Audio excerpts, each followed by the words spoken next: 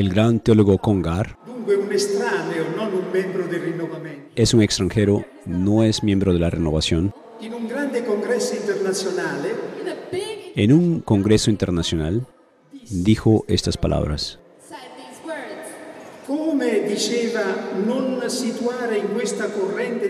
¿Cómo no situar?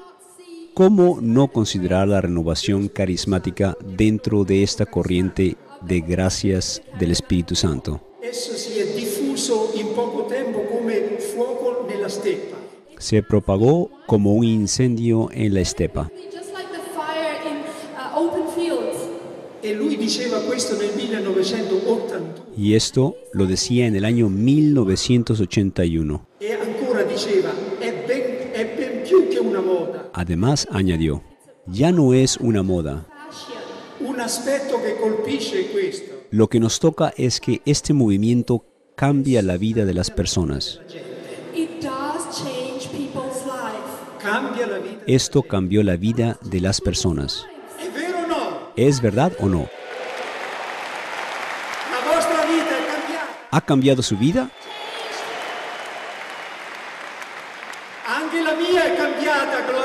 La mía también cambió, para gloria de Dios.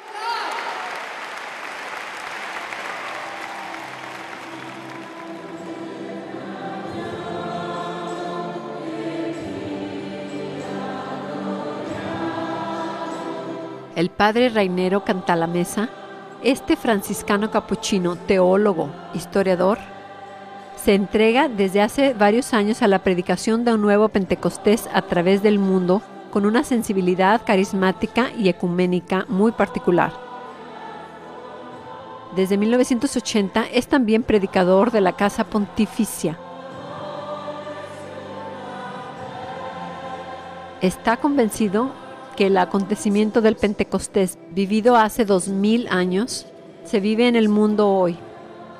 Por eso, el Padre Rainero Cantalamesa nos invita a reconocer y a vivir del soplo vivificador del Espíritu Santo, manifestado especialmente en este movimiento importante de la renovación carismática. Este despertar espiritual, vivido en las iglesias cristianas desde el comienzo del siglo XX.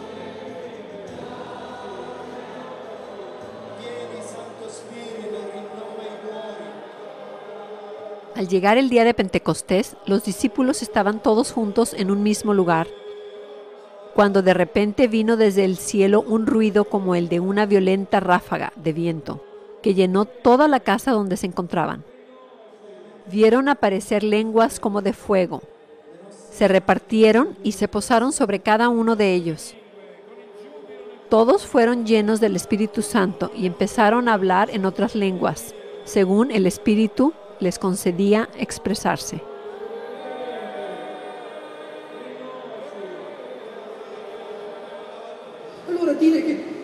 Decir que todos fueron llenos del Espíritu Santo equivale a decir que todos vivieron esta experiencia extraordinaria de ser amado por Dios. El amor de Dios podemos imaginarlo como un océano que en un instante desbordó e inundó a los apóstoles. Ese día vivieron el bautismo en el Espíritu. Y la imagen del bautismo significa estar totalmente inmerso, sumergido por el agua. Entonces los apóstoles fueron sumergidos por el amor de Dios.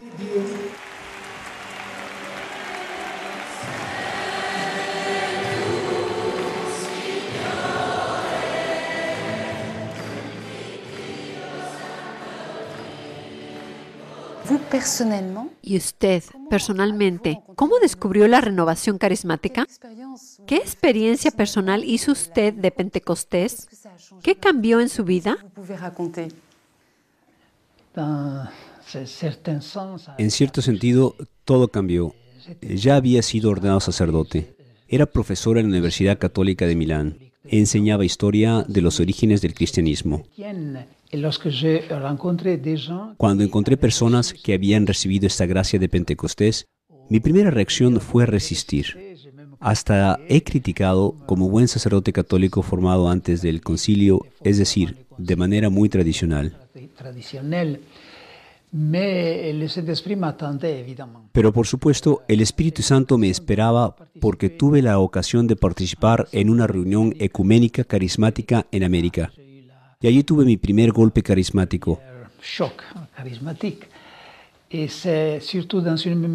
Retraite. Fue más que nada cuando fui a una casa de retiro en los Estados Unidos. Allí decidí dejar las riendas de mi vida al Señor. Creo que eso es la actitud esencial para recibir la gracia de Pentecostés. Abandonarse al Señor. Darle realmente carta blanca en nuestra vida. Une carte blanche dans notre vie. Recibí el bautismo en el Espíritu. Aparentemente nada excepcional, extraordinario pasó durante esta oración. Pero los días siguientes me di cuenta que algo había cambiado en mi vida. En primer lugar, cuando abría la Biblia o el breviario para orar los salmos, la Biblia se hizo un libro vivo que me estaba hablando. Ciertos salmos me parecían escritos para mí el día anterior. Entonces descubrí que uno de los frutos del Espíritu Santo es que la Biblia se hace un libro vivo, en el cual Dios habla hoy. Y otro signo que algo había cambiado es que al volver a mi comunidad franciscana capuchina en Washington, me sentía atraído hacia la iglesia. Entonces la oración se hizo una necesidad, no una dificultad o algo pesado, sino una atracción. Y la oración tomaba un tinte trinitario, que es lo propio de la oración cristiana, es decir, el Padre nos envía al Hijo, el Hijo nos habla del Padre y cada persona parece impaciente para revelarnos las otras personas. Es la dinámica del amor.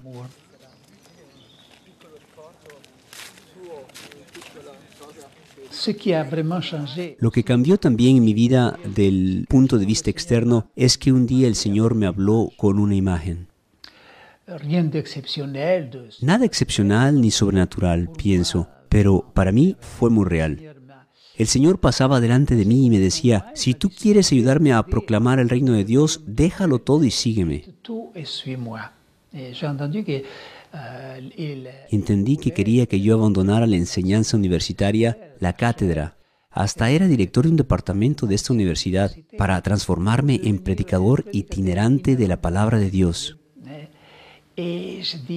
Dije que sí. Entonces, con la obediencia de mi superior, dejé la enseñanza. Estaba empezando a prepararme para este nuevo ministerio cuando me llegó la noticia de que Juan Pablo II me había nombrado predicador de la Casa Pontificia. La gente no sabe lo que esto significa. Eso significa que el Papa, con los cardenales de la curia romana y los superiores generales de las órdenes religiosas, cada viernes por la mañana durante el Adviento y la Cuaresma, vienen para escuchar la meditación dada por un capuchino. Desde hace 29 años yo soy este capuchino. Fue una gracia increíble. Me permitió hacer resonar en el corazón mismo de la iglesia esta gracia del nuevo Pentecostés que circula en la iglesia. Hasta he predicado sobre el bautismo en el Espíritu a la curia romana.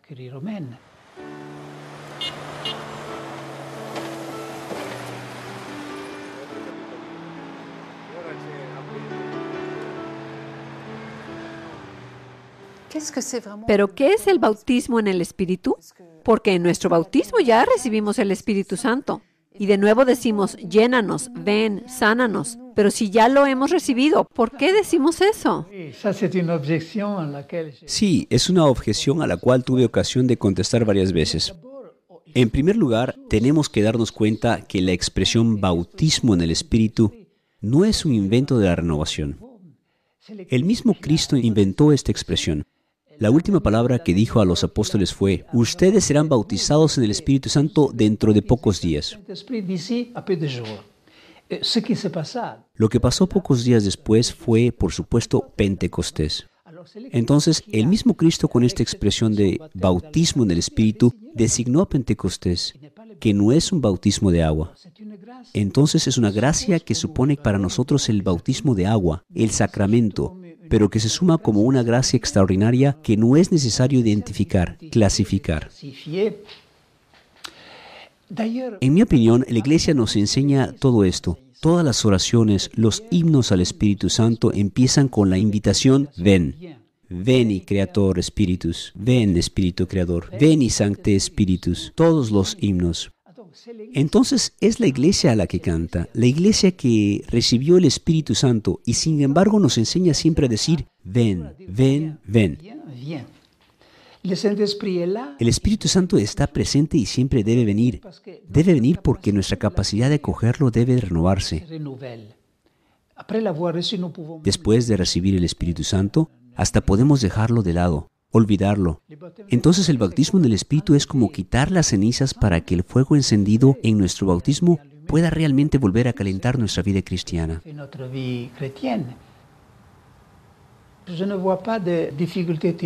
No veo ninguna dificultad teológica contra la idea del bautismo en el Espíritu si todos están claros que no es un octavo sacramento.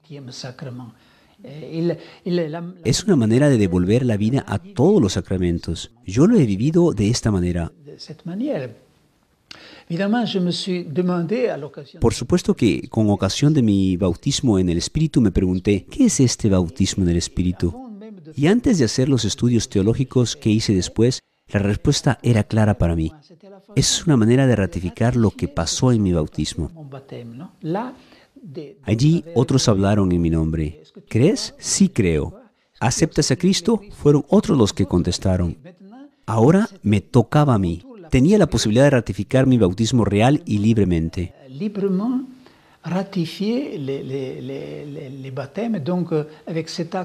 Entonces, con este acto libre, permito al Señor expresar todo el poder que hemos recibido en todos nuestros sacramentos, con toda esta vida sobrenatural que tenemos en nosotros. vie surnaturelle que nous avons en nous.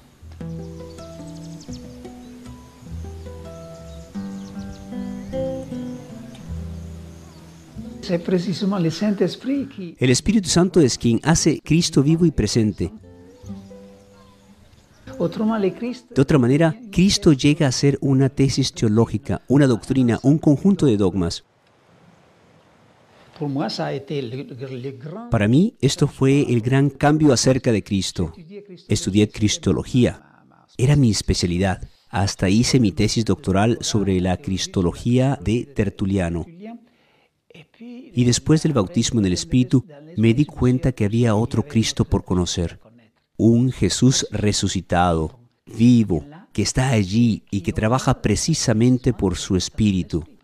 Porque el Espíritu Santo para nosotros, después de la redención, es el Espíritu de Cristo, es el soplo de Cristo sobre la iglesia. ¿Quién puede vivir sin este soplo del Señor?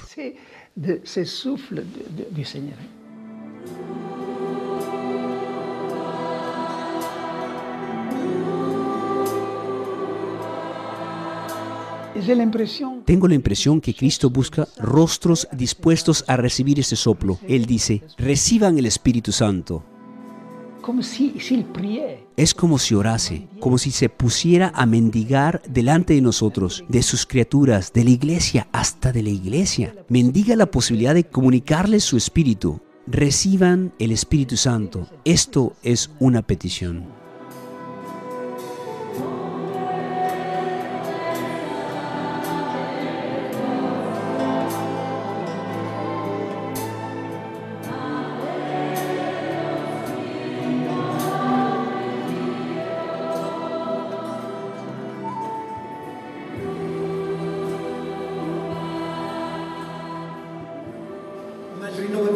Carismatico ha fatto riapparire nella Chiesa anche l'azione carismatica dello Spirito. La renovación carismática renovó también la iglesia en la acción carismática del Espíritu Santo. charismatic action of the Holy Spirit. Non solo quindi l'azione santificatrice trasformante, ma anche l'azione carismatica. No solamente la acción santificante y transformadora, sino también la acción carismática. In questo senso En ese sentido, la renovación carismática fue una respuesta de Dios a las oraciones de Juan 23, Preghiera per una nuova Pentecoste. a su oración para un nuevo Pentecostés.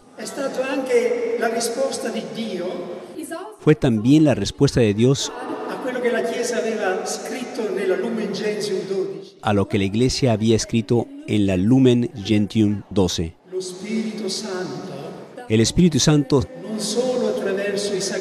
e i ministeri santifica la Chiesa, santifica la iglesia no solo a través de los sacramentos y ministerios, sino también cuando distribuye todo tipo de carismas. Y estos carismas, porque sirven para la edificación de la iglesia, e deben ser acogidos con gratitud y consolación. Parlo ai vescovi ai preti spesso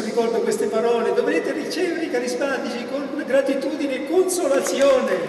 Cuando me encuentro con obispos muchas veces o con sacerdotes, les digo que deben acoger con gratitud y consolación a los carismáticos.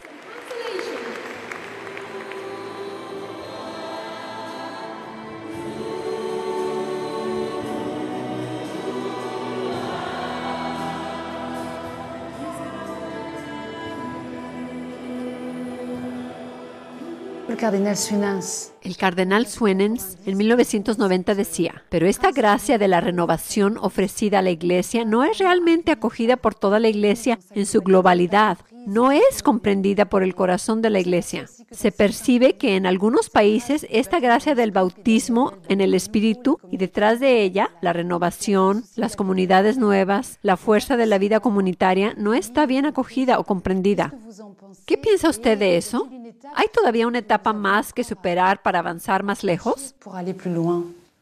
El elemento principal, lo puedo decir porque yo mismo lo experimenté, es el miedo de la novedad. Es el deseo de hacer lo que siempre se hizo, de insertarse en esta línea en la cual el hombre lleva la batuta. Lo que no entiendo es que hay elementos dentro del clero que condenan o rechazan abiertamente la renovación, a pesar del hecho que los papas Pablo VI, Juan Pablo II y Benedicto XVI han expresado muchas veces su aprobación, su apoyo, su juicio positivo acerca de este movimiento y de otros movimientos de la Iglesia.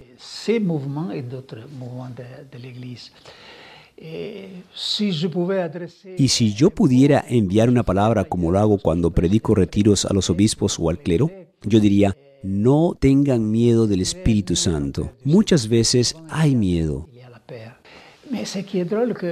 pero lo extraño es que en estos retiros que predico muchas veces a los obispos o al clero, sin nombrar la renovación, pero dejando pasar la gracia de Pentecostés, al final, en la última misa, siempre hay una efusión del Espíritu y la aceptan. Entonces, cuando uno separa la gracia del Espíritu Santo de ciertas expresiones particulares o de personas particulares que pueden hacer dificultad, se percibe que esta gracia está aceptada. Entonces habría que encontrar la manera de hacer pasar el Espíritu Santo y nosotros, los instrumentos, quedarnos atrás.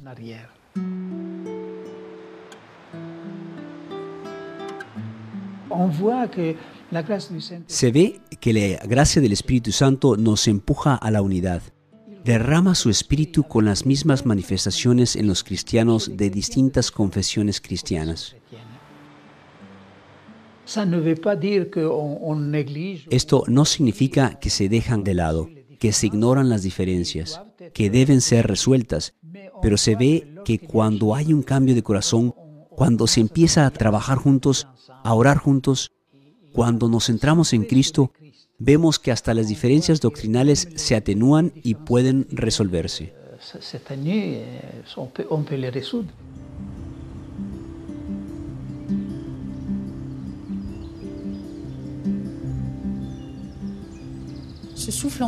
Este soplo nos libera de nuestro pecado, de nuestra tibieza.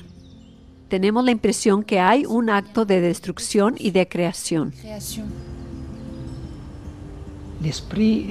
El Espíritu de Dios crea siempre algo nuevo. La renovación es, según una definición que siempre me llamó la atención, que leí al comienzo, la renovación es restituir el poder a Dios. Y no nos damos cuenta, pero queremos nosotros mismos dirigir el poder. siempre en nombre de Dios. Pero encontramos siempre razones para hacer lo que nosotros queremos. Mientras que la renovación significa que el Espíritu Santo toma en sus manos la vida de la iglesia. La vida de la iglesia, esto significa el manejo de una parroquia, la manera de predicar, de cómo colaboramos con los laicos, pues toda la vida de la iglesia. Y hay resistencia, por supuesto que hay resistencia.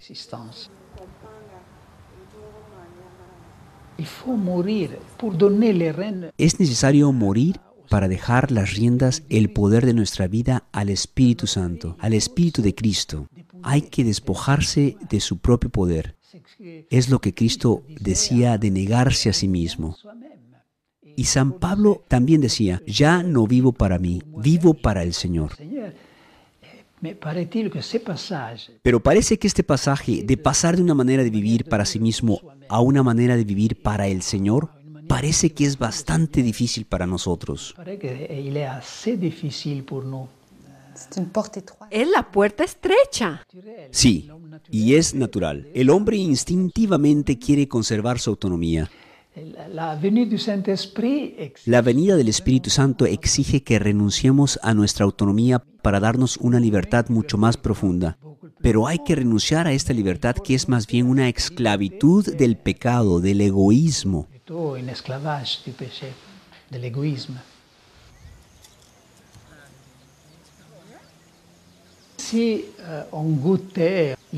Saint-Esprit, Si gustásemos los frutos del Espíritu Santo, entonces llegaría a ser fácil dejarle el poder, las riendas de nuestra vida.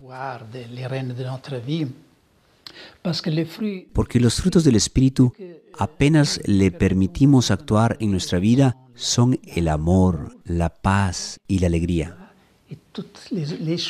Son todas estas cosas que la humanidad busca con ansiedad. El amor, la paz, la alegría. Y la experiencia nos dice que solo con el Espíritu de Cristo, solo cuando dejamos entrar a Cristo en nuestra vida, es nuestra manera de decir dejar entrar al Espíritu Santo, pues con Cristo entran la alegría y la libertad. Simplemente hay que hacer este paso, cerrar los ojos y lanzarse. Hay que lanzarse. Hay un pasaje en las confesiones de San Agustín que siempre me llamó la atención. En los momentos decisivos cuando tenía que decidir quedarse en su vida pasada o entrar en la vida nueva, decía que tenía la impresión que Dios estaba delante de él y le decía, lánzate, lánzate. Verás que no me he hecho hacia atrás para hacerte caer en el vacío. Lánzate. Pero era necesario cerrar los ojos porque San Agustín decía que siempre estaba la memoria del pasado para hacerlo retroceder diciéndole, no, no lo hagas, porque después tendrás que renunciar a esto y esto. Courage. Por suerte, tuvo la valentía de lanzarse y nosotros tenemos San Agustín. Si no, la historia habría tenido un pecador más. Tenemos una luz más.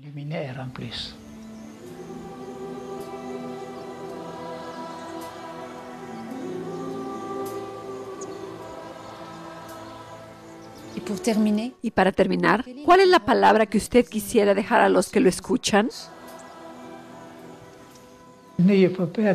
No tengan miedo del Espíritu Santo. Es nuestro aliado, el aliado de nuestra razón. No es el enemigo de la razón, es el aliado de la razón. Es el aliado de nuestra alegría, es el Espíritu de Cristo que quiere entrar en nuestra vida para hacernos felices.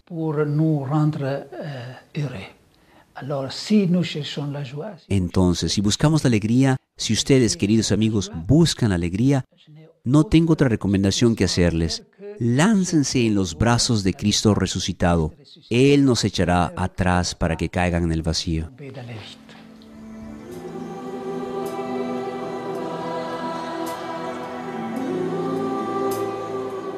Para este mes, uniéndonos a la oración del Padre Reinero Canta la Mesa, podemos rezar para que nuestras iglesias descubran y profundicen el bautismo en el Espíritu.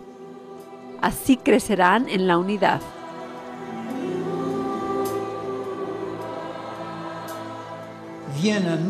Ven a nosotros, Espíritu Creador, visita las almas de los tuyos. tú que eres unción espiritual. Repela y envía al adversario lejos. Sin tardar, danos la paz. Haznos conocer a Dios Padre. Haznos conocer también al Hijo y creer en todo tiempo que tú eres el único espíritu de uno y otro.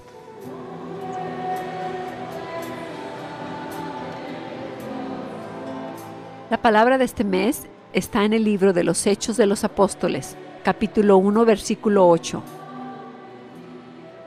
Recibiréis la fuerza del Espíritu Santo que vendrá sobre vosotros